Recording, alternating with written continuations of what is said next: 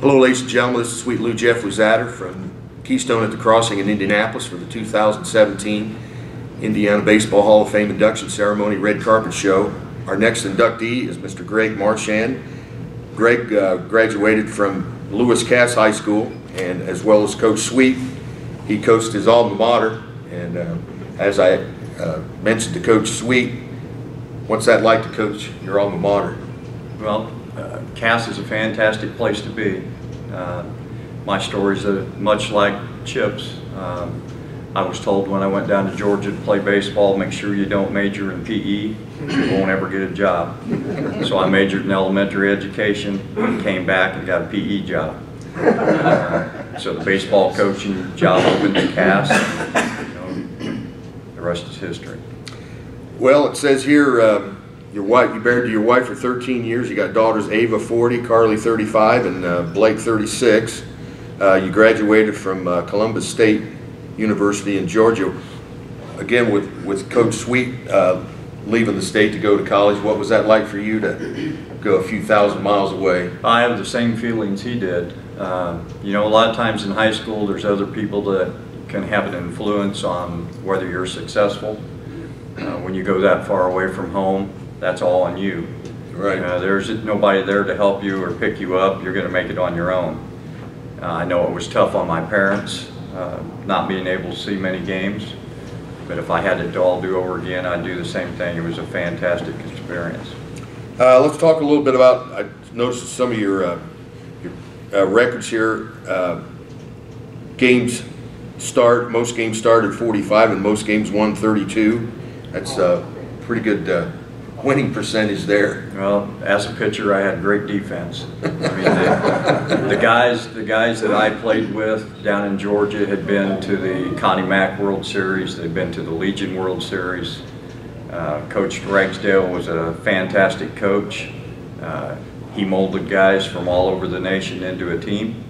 But most of all, he taught us to be men, and on top of that, he taught us to be Christian men. Well, it says here you've uh, 556 wins and 383 losses in 36 years. You're still active coach at Lewis Cass. I live in Lafayette, and with you just being out, you know, close to the uh, Kokomo area, I've always wanted to know: is it Cass or is it Lewis Cass? It's kind of like when you're in Florida, Kissimmee or Kissimmee. So, can you kind of? Well, I, I think that all comes with the IHSAA. The school's name is Lewis Cass, and the ISHA directory, they call us Cass. And since they're the boss, we go by Cass. Well, your championships, you had 10 conference championships in the Mid-America Conference, five sectionals, two regionals, a semi-state, and a 1A runner-up in 2009. Uh, I'm sure you've still got on your uh, bulletin board somewhere about striving for a state championship, although I'm sure 2009 uh, you'll never forget just not only just getting there, but just experiencing uh, experiencing that game. Uh, it, it, was a fantastic experience for uh, not only myself, but for the team and the entire cast. They had never been there before. And, you know, I, I know in preseason we run a bunch of conditioning tests, and we call it the Victory Field Challenge, which all stems back to your ultimate goals to get back there again. Uh, talked a little bit about uh, this Blackhawk helicopter experience here, your most memorable moment. Uh, you don't want to reveal who that person was, do you? Or no, I, I don't think that matters. Uh, he didn't get in trouble. he didn't get in uh, trouble. Get in trouble. But it was well, I a shock. I'm, I'm, sure, right?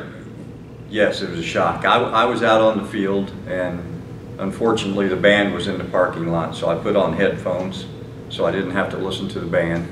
I was edging the field and would, had gotten up around the pitching mound and was tearing some sod out.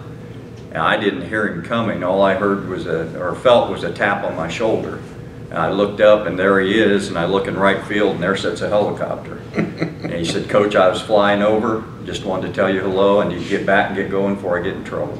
So he get back in the helicopter and he flew off. Since that time, he has come back and thrown out the first pitch. Mm -hmm. uh, has become a major now and uh, taken a couple uh, stints in Iraq and Afghanistan. And, you know, coaching when you have things like that happen to you, that's far more important than any wins, any championships, or anything else. And that, that was a pretty emotional time for me that he would fly over and see me out there and, and land just to say hello. Wow, wow. Uh, you had 21 players All-State. You had 13 players on the Indiana All-Stars. Uh, I know you don't want to put anybody on the spot, but can you? Uh, is there anybody that kind of stands out uh, of those All-Stars? That, And they, they've all been unique in a different way. And uh, for a small high school, uh, 2A school, to have that many kids on the All-Star team, we've been very blessed with outstanding players and, and very blessed that we've had media behind them be able to get that taken care of. Also, see here in your coaching career, you've also uh, coached some junior high basketball, been assistant uh, football coach, and currently uh, athletic director. You've kind of run the gamut as far as uh, high school sports. Done, done a little bit of everything. Athletic director uh, certainly keeps things lively. There, there's not a day that the same thing goes on day in and day out. I know the baseball field becomes a serenity to keep your sanity with all the negatives that happen during the athletic office during the day. So it's quite an interesting day in, day out.